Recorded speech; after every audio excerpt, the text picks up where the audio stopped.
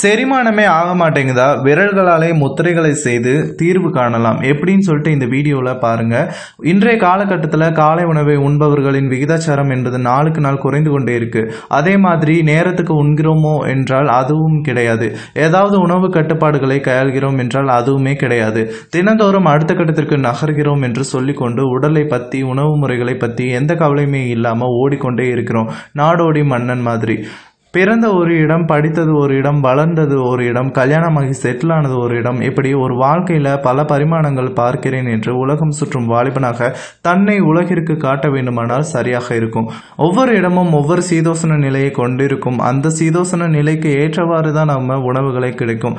அந்த இடத்துல நம்ம உடலுக்கு ஒத்து வரக்கூடிய உணவுகளை நிச்சயம் கேட்டு பெற முடியாது. இதனால் வயிறு மிக மோசமாக பாதிப்படையுது.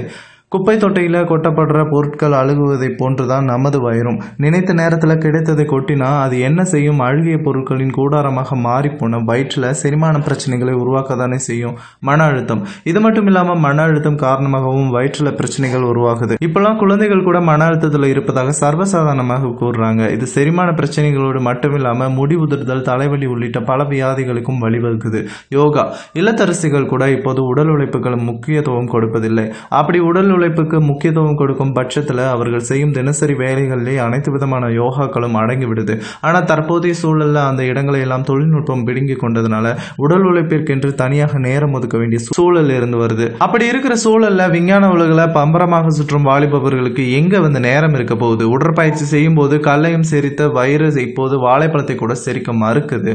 மீண்டும் உடல் உழைப்பை தரக்கூடிய பழைய வாழ்க்கைக்கு நம்மால் செல்ல முடியும் தான் ஆனால் நமது மனம் அதை நிச்சயம் ஏற்றுக்கொள்ளாது. ஏன்னா இன்ஸ்டண்ட்டை வந்து தான் இப்போ நம்ம விரும்புகிறோம் அப்படி வயிறு பிரச்சனைகளை தீர்ப்பதற்காக தான் யோக முத்திரைகள் பயன்படுத்தப்படுது. புஷன் முத்ரா.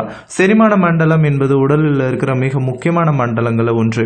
உடலுக்கு தேவையான உள்ளீடுகளை இதை தான் வந்து உடலுக்கு எடுத்து செல்லுது. அந்த செரிமான மண்டலம் எப்போதாவது கோளாறு கொடுக்கும்போது அல்லது கோளாறு கொடுக்காமல் இருப்பதற்காக நம்ம முன்னோர்களால் கண்டுபிடிக்கப்பட்ட முத்ரா தான் புஷன் முத்ரா. இது என்ன செய்யும்? புஷன் முத்ரா உடலில் இருக்கிற பிராணவாயு சமணவாயு அப்னாவாயு ஆகியவற்றை திறம்பட செயல்பட வைக்குது. மற்ற கை முத்திரைகளில் வலது கையில் என்ன மாதிரியான நிலையில் முத்ராக்களை செய்கிறோமோ அதே மாதிரி நிலையில் தான் இடது கைக்கும் செய்யணும். ஆனால் இந்த முத்ராவில் இப்போ வலது கை வாயுக்களை பெறும் இடமாகவும் இடது கை வாயுக்களை வெளியேற்றும் இடமாகவும் இருக்கு. சூரிய தெய்வம். சூரிய தெய்வமாக கருதப்படும் புஷன் நமது பூலோக வாழ்க்கைக்கு பின்னான வாழ்வையும் வழிநடத்துவதாக கூறுகிறாங்க. அந்த சூரிய பகவான் தான் வாழ்க்கையில் நடக்கக்கூடிய மாற்றங்களான திருமணம் இடம் மாறுதல் குழந்தை பேறு போன்ற அனைத்து விஷயங்களையுமே நிர்ணயிக்கிறாங்க. உடல் அளவில் பார்க்கும் பொழுது புஷன் முத்ரா வந்து வயிறு குடல் மற்றும் பித்தப்பையுடன் தொடர்புடையது. வயிறு நிறைய சாப்பிடும் பொழுது குமட்டல் வாய்வு தொலைகள் போன்றவை ஏற்படுது. அதை சரி செய்வதற்கான மருத்துவ முறையிலான சிகிச்சை இதல்ல மாறாக உடல்நிலை சீராக்குவதற்கு அதிகப்படியான முயற்சிகள் தேவைப்படும் போது அல்லது செரிமானத்தை ஊக்குவிக்க உடலின் பாகங்களை தூண்டும் பொழுது யோக முத்திரைகள் பெரிதும் கை கொடுக்குது. புஷன் முத்ராவை செய்யும் முறைகள். வலது கையில செய்யும் முத்ரா புளிச்ச ஏப்பம் எதுக்கழிப்பு. கட்டை விரலின் நுனியை கொண்டு நடுவிரல் மற்றும் ஆள்காட்டி விரலின் நுனியை அழுத்துங்க. சுண்டு விரலும் மோதிர விரலை நேராக நீட்ட வேண்டும். ஆசனங்களை செய்யும் போது மன ஒருநிலையுடன் செய்வதுதான் முழுமையான பலனை அளிக்கும். வாயு வயிறு வீக்கம் அல்லது மலச்சிக்கல். கட்டை விரலை கொண்டு சுண்டு விரலையும் மோதிர விரலின் நுனியையும் அமுக்கணும் இதில் ஆள்காட்டி விரலையும் நடுவிரலையும் நேராக நீட்டணும். இடது கையில் செய்யும் முத்ரா.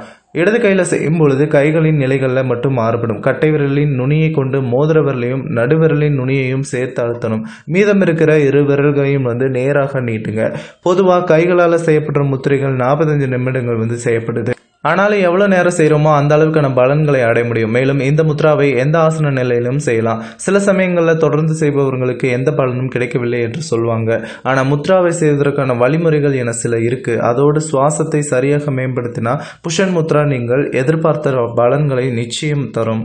வியூவர்ஸ் இந்த வீடியோ உங்களுக்கு பிடிச்சிருக்கும்னு நினைக்கிறேன். இந்த வீடியோ உங்களுக்கு பிடிச்சிருந்தால் லைக் பண்ணுங்க ஷேர் பண்ணுங்க. இந்த வீடியோ பற்றின கமெண்ட்ஸ் ஏதாவது பண்ணணும் அப்படின்னா கீழே இருக்கிற கமெண்ட் பாக்ஸில் கமெண்ட் பண்ணுங்க.